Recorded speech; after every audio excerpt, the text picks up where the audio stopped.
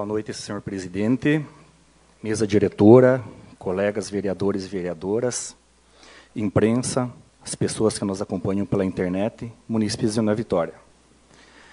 Hoje teremos a segunda votação é, do projeto de lei que institui a Semana Municipal de Combate ao Abuso e à Exploração Sexual de Crianças e Adolescentes.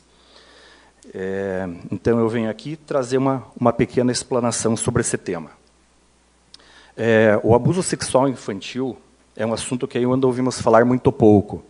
Mas e por que ouvimos falar muito pouco? Porque muitos, muitos poucos casos vêm à tona. A maioria dos casos não são denunciados. Estima-se que menos de 30% dos casos venham a conhecimento. Essas denúncias não ocorrem por vergonha, por ameaça, é, por vergonha da família do caso vir à tona, ou simplesmente por falta de informação em saber identificar é, o que está ocorrendo com, com as crianças, seja por parte de pais, de professores e da população em geral. No ano de 2017, tivemos 35 casos de abuso sexual de, de crianças em União da Vitória, confirmados. E, no, e, nesse ano de 2018, no mês de janeiro, nós já tivemos seis casos, e no mês de fevereiro nós tivemos um caso. Então, levando em consideração que menos de 30% dos casos é, são, são denunciados, se nós tivemos 35 casos no ano de 2017, multiplicando aproximadamente por 4, teríamos aí efetivamente 140 casos de abuso em União da Vitória. Então agora eu vou trazer aqui um pequeno resumo do que, do que se trata essa lei.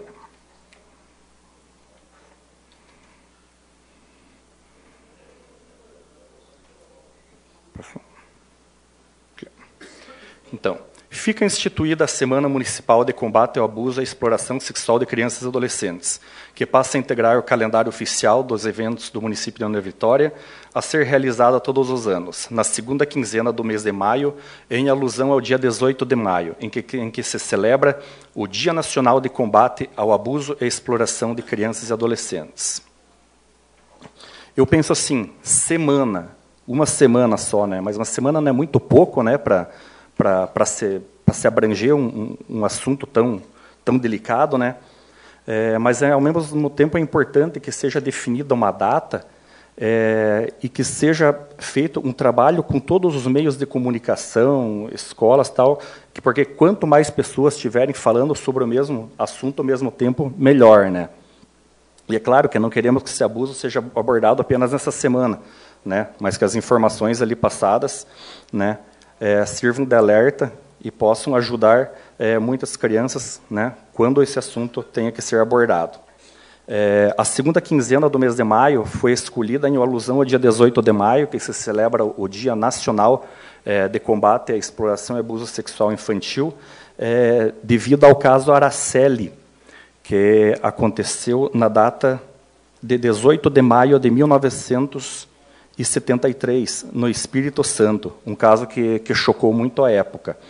E no dia 17 de maio de 2000 foi instituída a Lei Federal número 9.970, em que instituiu o dia 18 de maio é, o Dia Nacional de Combate à Exploração Sexual Infantil.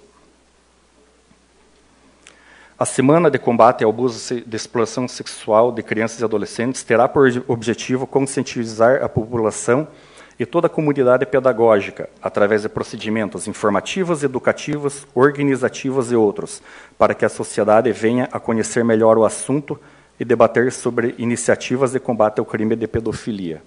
Né? Portanto, como eu já falei antes, né, envolvendo toda a sociedade, quanto mais pessoas falando ao mesmo tempo sobre o mesmo assunto, melhor.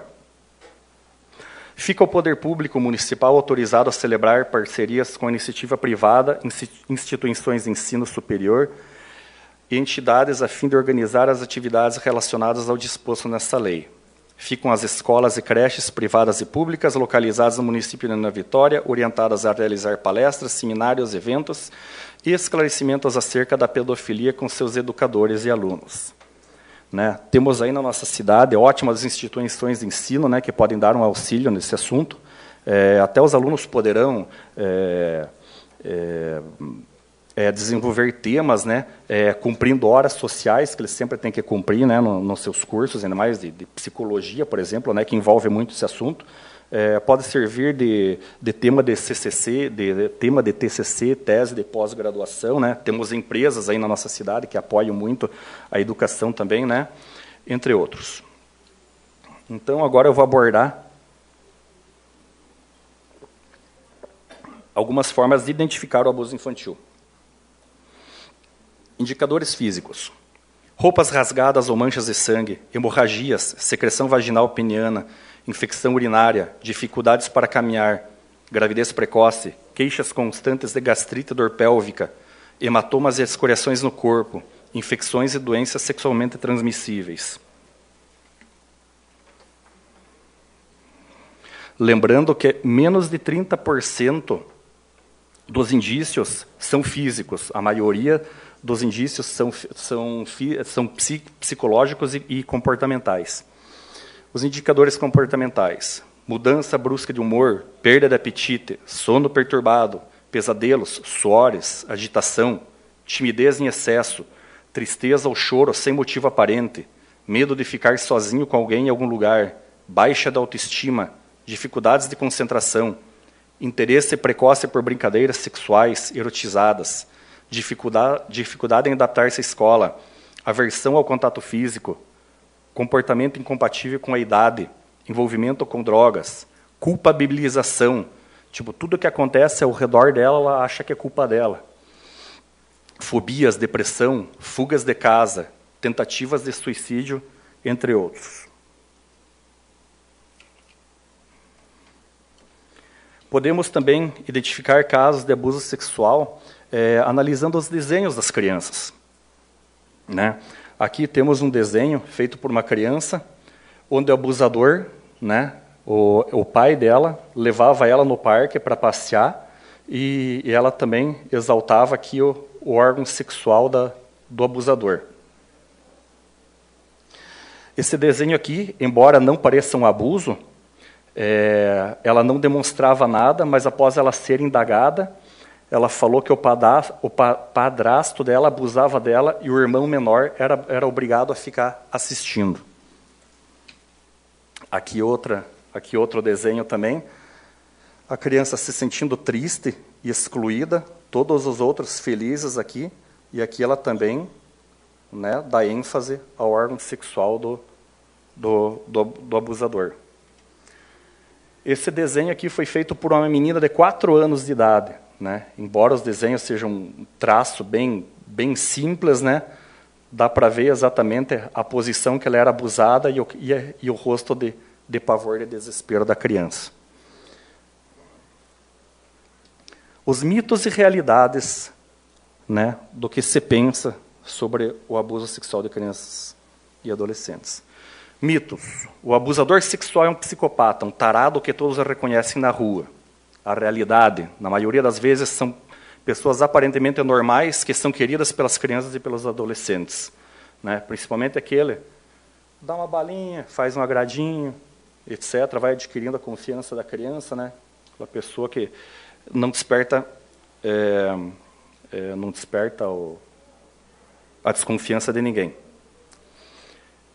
O estranho representa o maior perigo às crianças e adolescentes.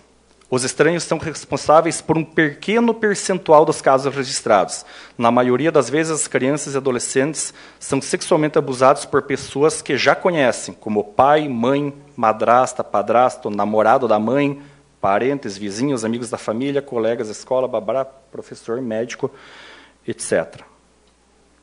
A maioria dos pais e professores estão informados sobre o abuso sexual das, crian das crianças e sua frequência e sabem como lidar. Não. A maioria no Brasil desconhece a realidade sobre abuso sexual de crianças. Pais e professores desinformados não podem ajudar uma criança.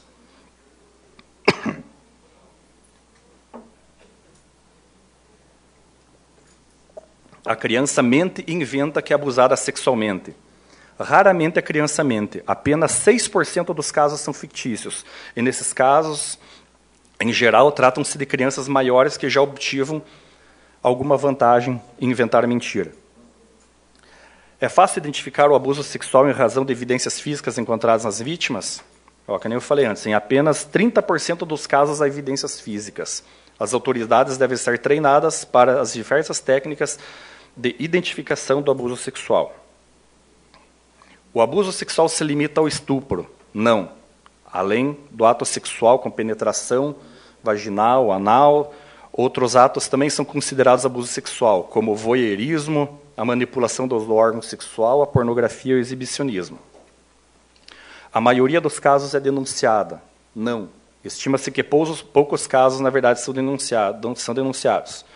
Quando há o envolvimento de familiares, existem poucas probabilidades que a vítima faça a denúncia, seja por motivos afetivos ou por medo do abusador, medo de perder os pais, de ser expulso, de que outros membros da família não acreditem na sua história ou de ser o causador da discórdia, da discórdia familiar. As vítimas do abuso sexual são oriundas de famílias de nível socioeconômico baixo. Não, nível, níveis de renda familiar e de educação não são indicadores de abuso. Famílias das classes médias e alta podem ter condições melhores para encobrir, encobrir o abuso e manter o muro do silêncio. Pedófilos têm características próprias que o identificam. O pedófilo pode ser qualquer pessoa.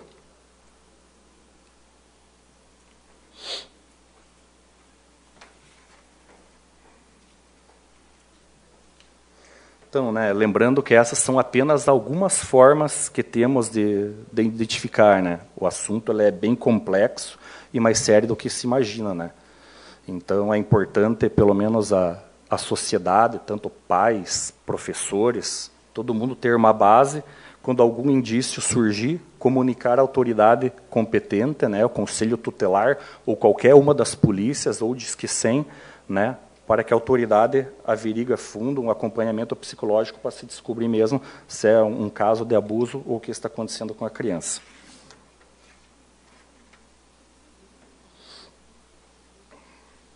Então, considerações finais.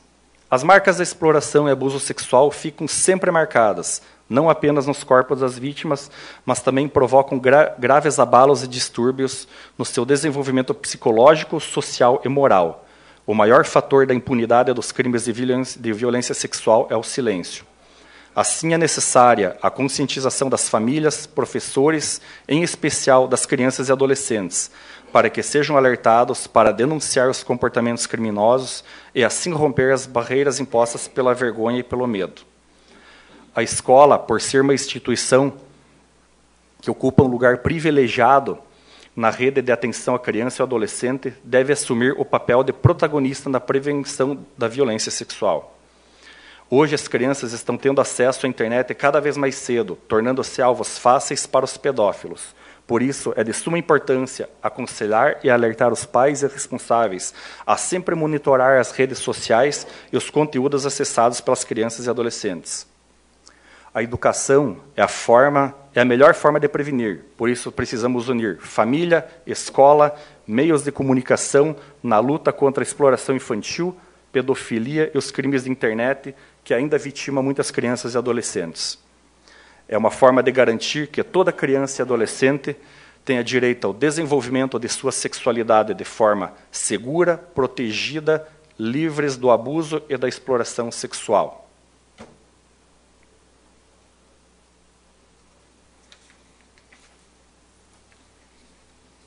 Então, serei isso, senhor presidente. Muito obrigado pela atenção de todos e uma boa noite.